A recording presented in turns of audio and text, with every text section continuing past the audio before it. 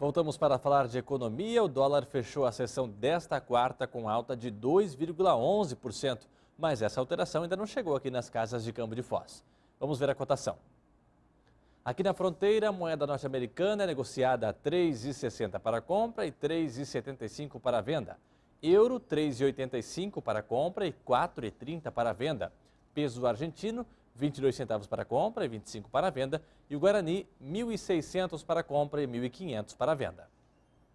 5 mil pessoas foram até o Marco das Américas na noite de terça-feira e se emocionaram com a apresentação do Alto da Paixão de Cristo uma apresentação histórica para a nossa cidade. Por isso, a nossa equipe acompanhou e você confere agora na reportagem de William Marques e Jurandir Júnior.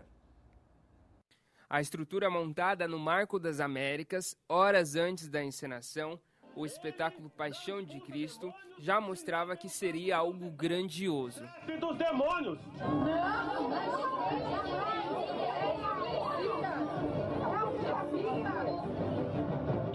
Momentos de muita emoção tomaram conta da encenação que encantou quem assistiu o espetáculo. Que autoridade tu fazes essas coisas? Achei muito linda. Então esse espetáculo na verdade marca toda a nossa vida de fé, né? desde o nascimento de Jesus, como nós podemos perceber. E esse espetáculo traz para nós, na verdade, a emoção, viver esse tempo, principalmente que estamos vivendo a última semana né, da quaresma, que finaliza amanhã é, na quinta noite, que finaliza a quinta noite, onde que nós começamos o tríduo pascal, assim dito. Essa última semana, a Semana Santa, é bom para a gente poder vivenciar toda essa questão de fé a partir de Jesus, toda a sua vivência, seus milagres, a morte a partir também da ressurreição, que essa é a nossa fé, né? a ressurreição na vida. A história que conta a vida e a morte de Jesus Cristo aqui na Terra foi contada por atores iguaçuenses e, quatros de renomes nacionais, como é o que Maravilha, que interpretou Herodites, Luciano Zafir, que fez Pilatos, a atriz Ana Rosa, que atuou como Maria, a mãe de Jesus, que foi interpretado por Kaique Brito. Você é, participar de um espetáculo de cunho religioso é tão forte, é uma energia tão gostosa. Você fazer teatro já é uma energia gostosa. Em se tratando dessa história, não tem como não se emocionar. Qualquer personagem que você faça, ah, você se emociona. Me explica qual que foi a emoção de fazer a peça aqui em Foz. Ah, fantástico, né? Vocês têm uma terra sagrada aqui. Quem tem o Rio Paraná, quem tem as cascatas, meu amor, sabe, já está no lugar sagrado. E também vocês têm um povo maravilhoso, né? E realmente você vê, são mais de 60 atores do povo. E, e o que faz, o que dá força para um estado, um país, é uma cultura popular forte. Uhum. E isso vocês estão provando que tem. Eu já tinha participado sim da Paixão de Cristo várias vezes é, que a gente fazia, minha família de circo, na Semana Santa, toda semana a gente apresenta a Paixão de Cristo, apresentava, né?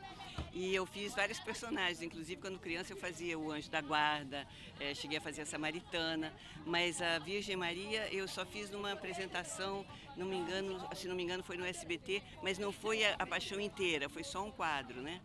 E aqui com, com, com falas e, e, o espetáculo inteiro foi muito emocionante. Está sendo uma emoção muito boa, me sentir lisonjeado quando recebi o convite e ter esse privilégio de trazer essa história de volta para cá e ter esses observadores, digamos assim, invisíveis ao, ao acontecimento de Jesus é de fato, para mim, histórico. Ser fiel ao que ele disse, ao que ele foi, ao que ele fez, é sem dúvida um caráter sagrado. Eu estou muito feliz. Você me contou que é a segunda vez que você está fazendo Jesus. É, tem alguma diferença de público? Uh, a primeira vez que eu fiz Jesus foi no AMB em São Paulo, em 2012 e foi ao vivo. Foi bem lisonjeante. Mas hoje aqui em Foz do Iguaçu, segunda vez que eu venho aqui na cidade, foi diferente, foi bem quente, o público caloroso, ele, eles interagem, tem uma troca. Por incrível que pareça, no meio da cena dá para sentir, enfim, as pessoas falando, dando conselhos para Jesus, assim. É, tem que tomar cuidado para não desconcentrar, mas o carinho do público é essencial, necessário. 60 atores de Foz mostraram seus talentos nos palcos do espetáculo. Ah, Salomé, na verdade, filha de Herodias, né, com Herodes, Antipas, é uma, uma, uma moça que, que pede a cabeça de João Batista a pedido da sua mãe e um personagem que, que me tirou muito, me fez dançar, né, uma coisa que eu nunca tinha feito ainda, me testou como atriz. Gostei muito de fazer, até porque é um personagem super cheio de luxo e tal, uma coisa que eu ainda não tinha feito, achei super legal, muito gostoso. A cada mudança de palco, o público ficava mais curioso para saber o que estava por vir. achei maravilhosa, emocionante. Qual foi a parte que a senhora mais gostou? Ah, a última cena, né? É. Foi linda. Então, demais. Demais? Muito bonito. O senhor mora aqui? Moro. O espetáculo que reuniu 5 mil pessoas terminou com a crucificação e a ressurreição de Cristo deixando uma mensagem de amor e paz para a população iguaçuense. Qual a parte que você mais gostou? Jesus, um de foguete. É, por que, que você estava chorando? Porque é bom.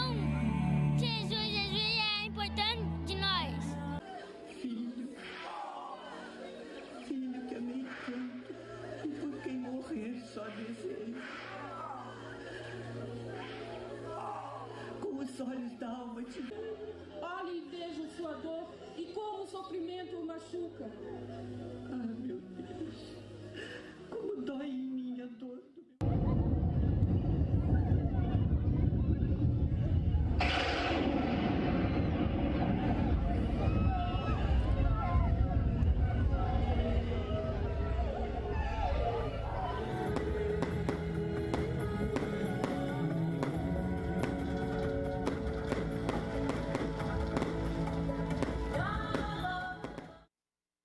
Uma nova apresentação do Alto da Paixão de Cristo será apresentada hoje à noite, às 8 horas, no Marco das Américas. A entrada é gratuita e você está convidado.